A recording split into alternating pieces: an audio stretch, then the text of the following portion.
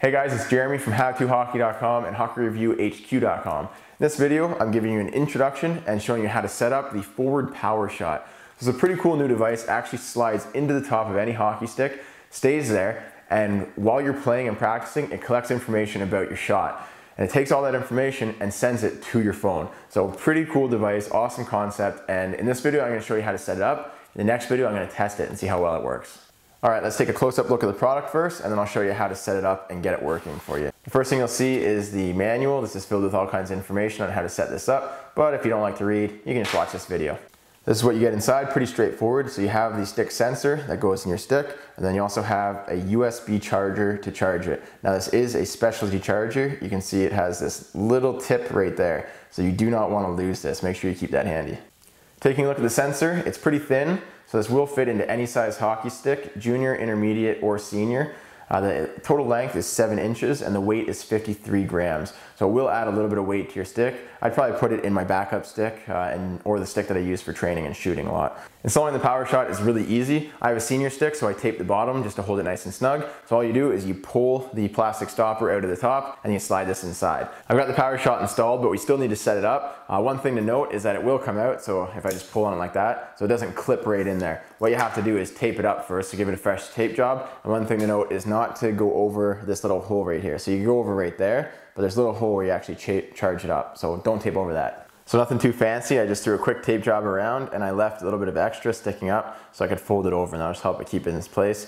Uh, and I'm gonna show you how to set this thing up so it's paired to your phone. The first thing you wanna do is charge your power shot, which I thought was pretty cool. It's like you're plugging in your hockey stick. So I just have uh, one of these typical USB chargers you get with your phones and iPods and stuff like that. So you're plugging it into the wall and then you have the USB cord that came with it. It's got this tiny little charging prong here, which fits into the top of the power shot. Now you're gonna wanna plug this all the way in. It's a snug fit, so you have to make sure the plastic from this is touching the power shot. You don't wanna leave it half out.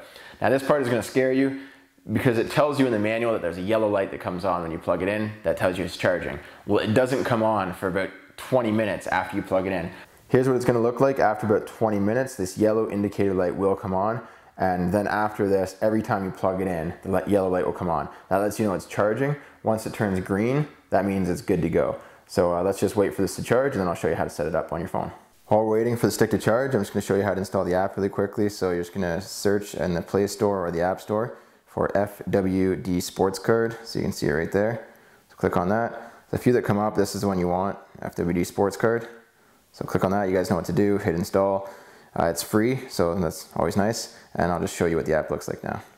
Here's the app. Uh, so when it first opens, it's gonna ask you to create an account. It's pretty simple, you just put in your name, email address, that's about it. Uh, and then up here in the top left, you're gonna wanna hit that so you can pair it with the sensor you have in your stick. And then there's sensor right there. You click on power shot that's gonna open up this section and then it says pair sensor. So we're gonna wait until it's fully charged and then we're gonna do that. The green light finally came on. So it took a little longer than expected, uh, about seven hours, which I thought was kind of long. That might be just for the first charging and the battery is supposed to last about four to 12 hours for each charge. Uh, so now all you have to do to activate this and pair it with your phone is tap it on the ground. That activates the sensor and you should see a little uh, yellow light flashing right there. When it's flashing, you just turn on your phone. I'll load the app up right there. So it says here to pair sensor. So you just click this button and then it's sending the information. It shows the sensor right there. So I'll click on that and boom, it is paired. And uh, something that's cool is it shows the battery life right up there. So I thought that was a pretty neat idea. And now this is sending information via Bluetooth to my phone. Pretty neat. All right, so we've got the uh, power shot all set up in your stick and it's sending really cool information about your shot to your phone. Uh, you're probably wondering what kind of information. So that's what I'm gonna get into right now. You actually get six different readings. Five of them are concrete pieces of information that you can't get from any other device. So radar guns will tell you the puck speed.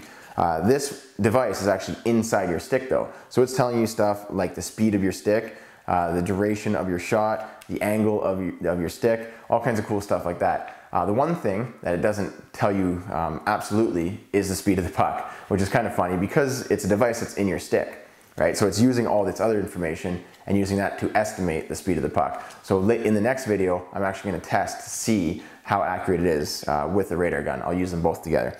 So the pieces of information you get, uh, shot speed, Number one, that's actually your stick speed. So that's pretty cool because you can see how quick your stick is moving and then see if you can increase your um, head speed basically of the blade. So that's one thing that you can't get from a radar gun. So that's pretty neat, the speed of your stick. Uh, number two is the duration of the shot. So from when you start to when you end. So that's something like your release, another thing that you can work on getting a quicker shot, quicker release. Uh, then we have the angle. So that's the angle of your backswing, if I understand this correctly. So you're seeing how high your backswing is and how that relates to how much power you're getting. So that's a pretty cool thing there. Uh, puck speed, which is an estimation based on all this other information. Uh, number five is acceleration. So rather than just puck or the, the stick speed, it's how quickly you're accelerating that stick before you hit the puck. Uh, so it's something else, it's concrete. You can work on improving that acceleration, so your explosiveness and your explosive power. And then number six is your rotation speed. So that's when you're rotating into the shot. So not only is your stick coming down, you're also rotating into that. That's something else. Maybe you really slow at that and you have to improve it. That's it for the intro and the setup instructions for the power shot. Don't forget to subscribe to my video because I am really excited to have this in my stick and I'm gonna be testing it out over the next week or so. And I'll come back in a few weeks with a, another video with a full review on how this works, um, how well it actually reads the puck speed compared to a radar gun, and all kinds of other cool information. Uh, so that's it. Thanks a lot for watching the video. Don't forget to subscribe to this channel, hockeyreviewhq.com, and my other channel, howtohockey.com. Thanks for watching the videos, guys. I'll see you in the next one.